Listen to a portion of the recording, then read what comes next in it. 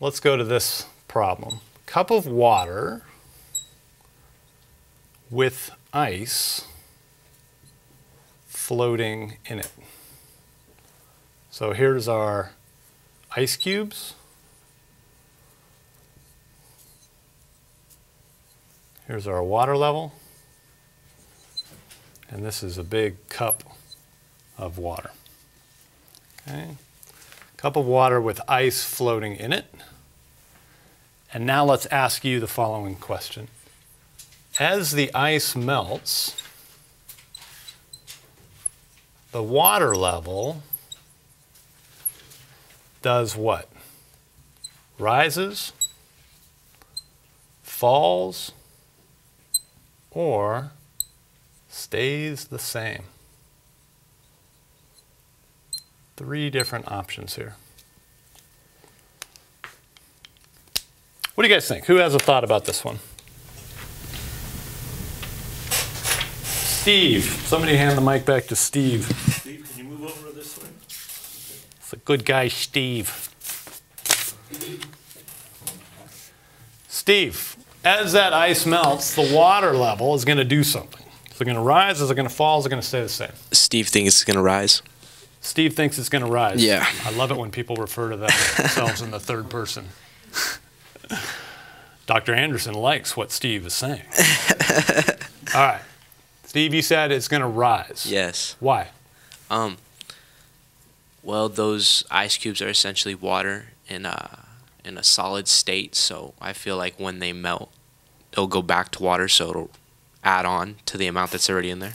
Okay. Yeah, I mean, certainly some of that ice is up above the water level, right? So if I take those water molecules and I throw them into the water, seems like it should rise. Yeah, absolutely.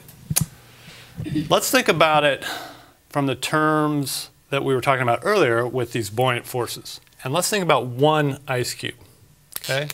One ice cube is going to have mg down on it. It's going to have some buoyant force up on it, okay? And the buoyant force B is equal to the weight of the displaced fluid. So for one ice cube, we're talking about that amount that's under the water. That's the displaced fluid. And so we know what that is. That is rho of water times the volume underneath times g. All right. But that has to be equal to mg if it's floating. Where this m is the mass of the ice. So what can I say here?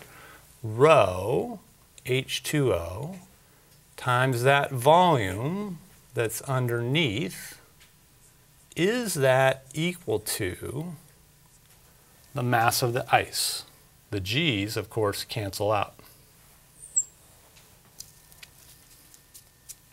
So what do you think, Steve? If I took all that mass of ice and I melted it and I turned it into water, would it fill that volume that is underneath the water, that the portion of the ice that's underneath the water, if I melted all that, would it just fill that volume?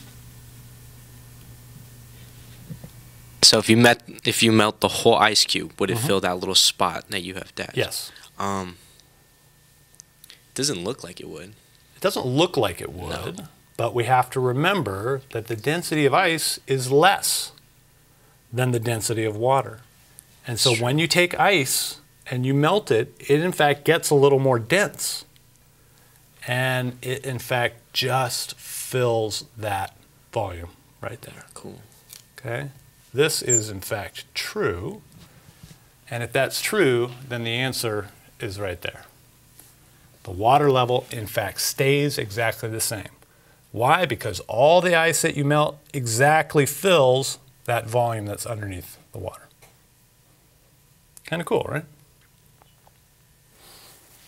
Now, this doesn't work, of course, if your ice is stacked all the way to the bottom and it's elevated way above.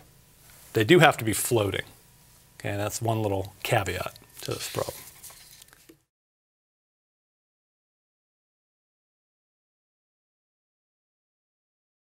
Música